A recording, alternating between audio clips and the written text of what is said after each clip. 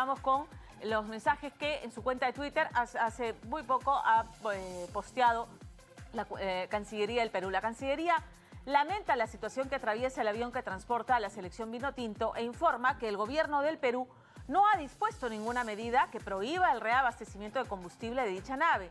Asimismo señala que la citada aeronave viene experimentando restricciones de abastecimiento de índole mercantil privado, dice, ajenas a la voluntad del Estado peruano.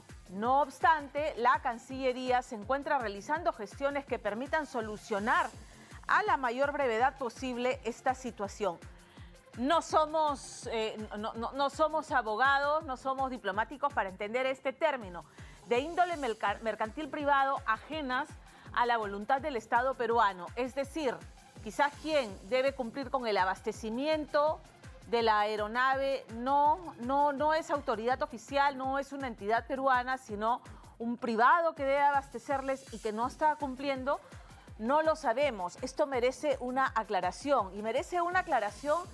Eh, ¿Por qué? Porque el partido con Venezuela se ha jugado en un contexto eh, que ha ensombrecido el encuentro deportivo infelizmente y claramente ya no voy a hablar ya no, porque ya dejamos aquí sentada la postura ayer en contacto respecto a este programa deportivo en el que tuvieron comentarios sexistas, homofóbicos, misóginos respecto a las mujeres venezolanas y, e insultando a todas las mujeres en general, de eso ya hablamos, sino de, lo que ocurrió en la previa al partido, la disposición del Ministerio del Interior, que es algo que no ocurre normalmente cuando hay encuentros con eh, equipos extranjeros que ocurren aquí en el Perú colocar a la policía de migraciones en los exteriores del estadio, ¿no? a la policía de requisitorias, a la policía de migraciones.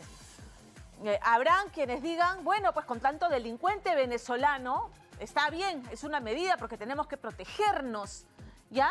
Pero, a ver, pensemos un poquito más, porque el delincuente venezolano que hay no representa a la mayoría de venezolanos que han llegado al Perú huyendo de una dictadura represora de una dictadura que tiene al hambre a la mayoría de los venezolanos que están en una situación de precariedad económica enorme y que encima tienen todos sus derechos vulnerados. Entonces, esa gente que ha venido con lo que podía cargar en las manos, y ustedes recordarán cuando empieza la migración, cómo estaban en la carretera caminando con sus bultos, con sus hijos, los ancianos. Bueno, sí hay delincuentes venezolanos, pero no representan a la mayoría. Entonces, todo, todo, todo empieza a enrarecerse con visos de xenofobia. Y siendo el Estado peruano un Estado democrático, debería tener un manejo más sutil de esos temas.